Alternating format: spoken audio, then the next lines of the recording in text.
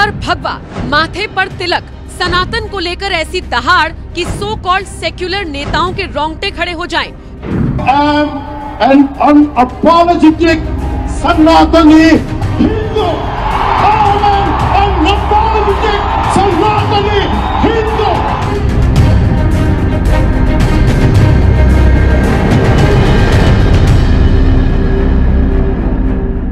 1600 kilometre दूर एक सच्चे सनातनी ने अपने धर्म के लिए ऐसी हुंकार भरी, मुँह में दही जमाए दिल्ली वाले नेताओं को भी शर्म आ गई। हिंदुत्व के नाम पर वोट मांगते नेताओं को साउथ के योगी से कुछ सीखना चाहिए। समझना चाहिए कि जब उसी हिंदुत्व को कोई गाली दे तो कैसे दहाड़ना है, कैसे चीखना है और कैसे चिल्लाना है? सामने वाले को बताना है कि वी आर अनअपोलोजेटिकली सनातनी। बिल्कुल वैसे ही, जैसे पवन कल्याण ने ललकारा। An unapologetic Sanatani Hindu. I am an unapologetic Sanatani Hindu. If I had to lose everything, including my life and my political position as deputy CM and this political power, I am ready to let it go. This is a oath I have taken in my life when I was at the age of 21 in the same Tirupati.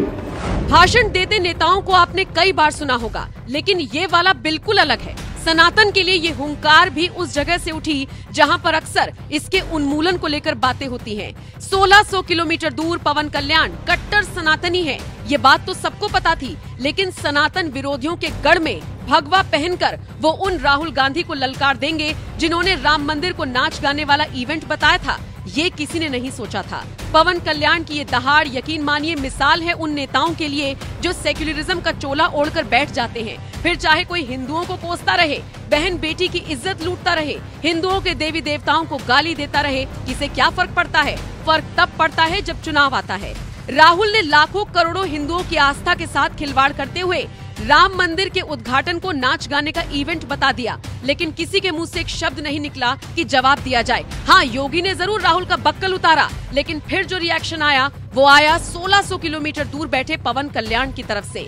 पवन कल्याण ने सीधे चेतावनी देते हुए कह दिया कि भगवान राम का अपमान भूलकर भी मत करना।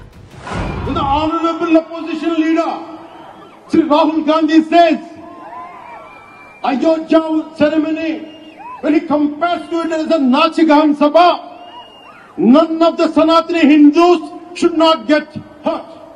We have to be happy about it. And you want the votes of all the Sanatani Hindus to get into the power, to be a political leader, to be in the opposition. And you want all the votes of Sanatani Hindus. But you don't respect Lord Rama. You might hate Modi ji. You might hate us. But don't you guys dare to talk about Lord Sri Rama.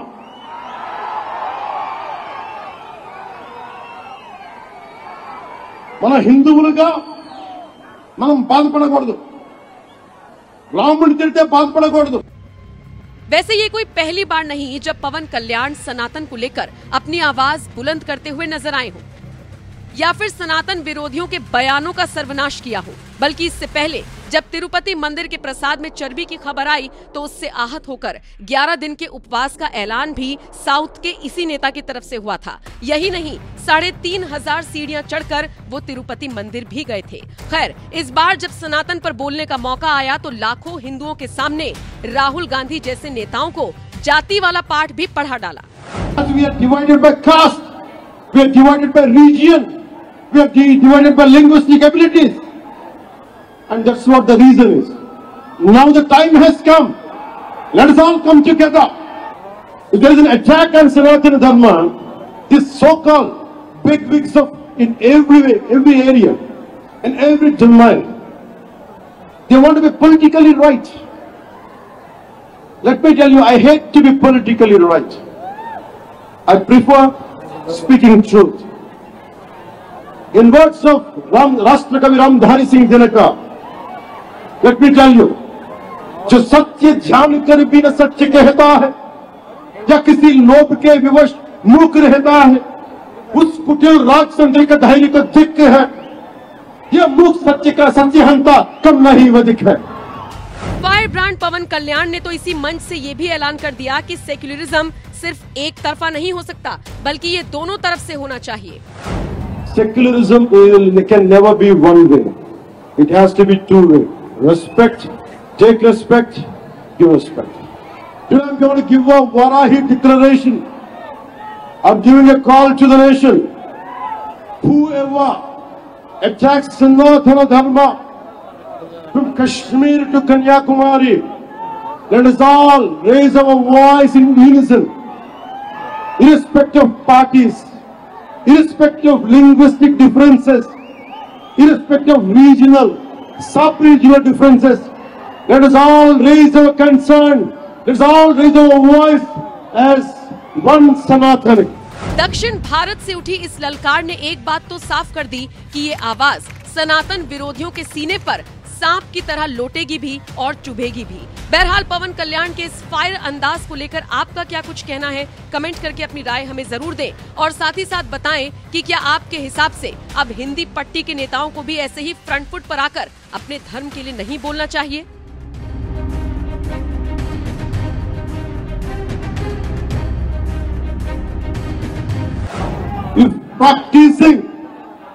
My own dharma is a sin. To the so-called people who comment on us, the, for the so-called pseudo-secularists, then let me tell you, I will make my stand clear to you today. I am an unapologetic Sanatani Hindu. I am an unapologetic Sanatani Hindu.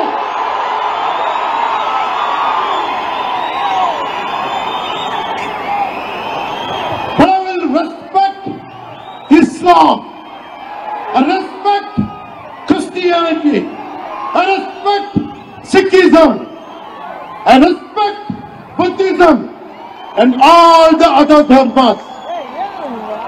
But I am an unapologetic Sanatani Hindu. Let me be very clear to you guys.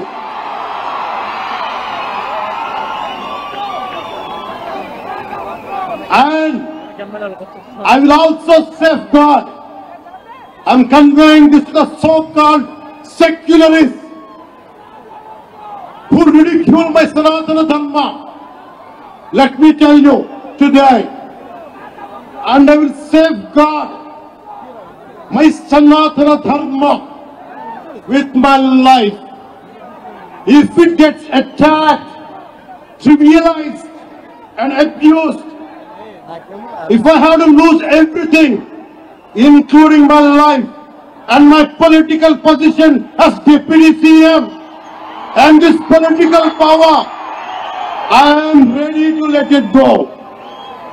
This is an oath I have taken in my life when I was at the age of 21 in the same Tirupati, when I was looking at the foothills of Lord Balaji, looking at the caption, looking at the sloka, Dharmo Rakshita Rakshitaha, Dharmani Rakshita Dharmani Rakshita. With the honorable opposition leader, Sri Rahul Gandhi says, Ayodhya ceremony, when he compares to it as a Nachigan Sabha, none of the Sanatani Hindus should not get hurt. We have to be happy about it. And you want the votes of all the Sanatani Hindus to get into the power, to be a political leader, to be in the opposition. And you want all the votes of Sanatani Hindus. But you don't respect Lord Rama. You might hate Modi ji. You might hate us. But don't you guys dare to talk about Lord Sri Rama. This is a classic case of justice.